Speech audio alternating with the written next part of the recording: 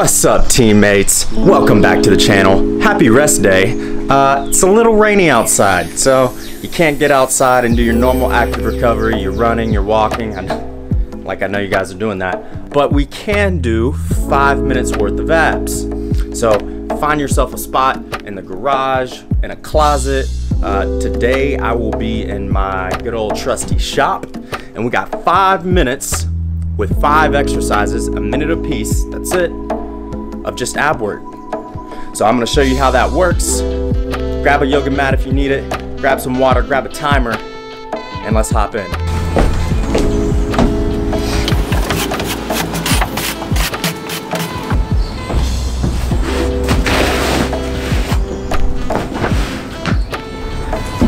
So, the first exercise is going to be simply a hollow hold.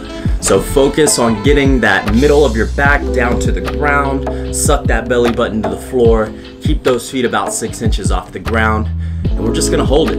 It's gonna burn, but try and get the full minute without putting those feet on the ground.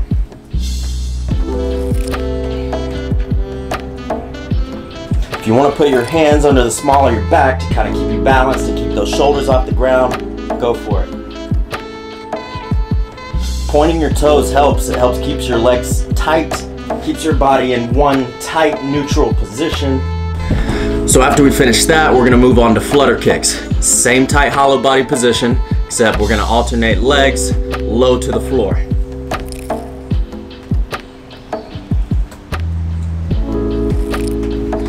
Notice my feet aren't super high. Keep them low, keep them tight. After that, you'll move straight on into scissor kicks. Once again, these will be for a minute, and then we're gonna go side to side this time. So feet will be tight, alternating left over right, right over left, keeping them low to the floor.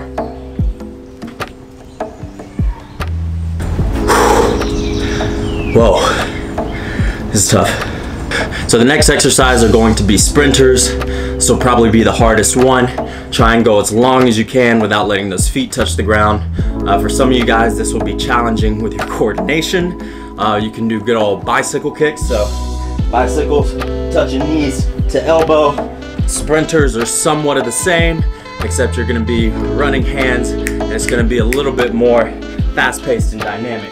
So I will start with one hand here, one up by my ear like I'm running in my laid back hollow position. Then I will come up quick running stance. So you'll just be alternating.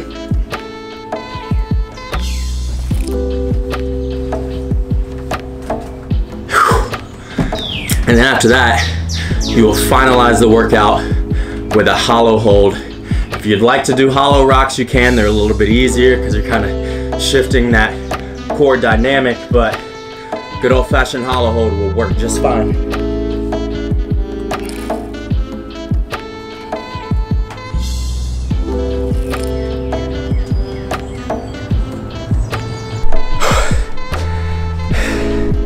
Okay, that's five minutes. I'm breathing. All you need is a floor, some space, and five minutes.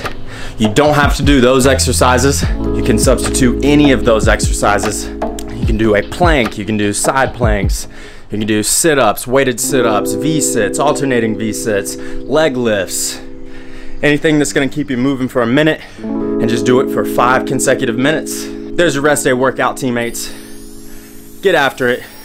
Stay safe, stay warm, stay dry. See you next time.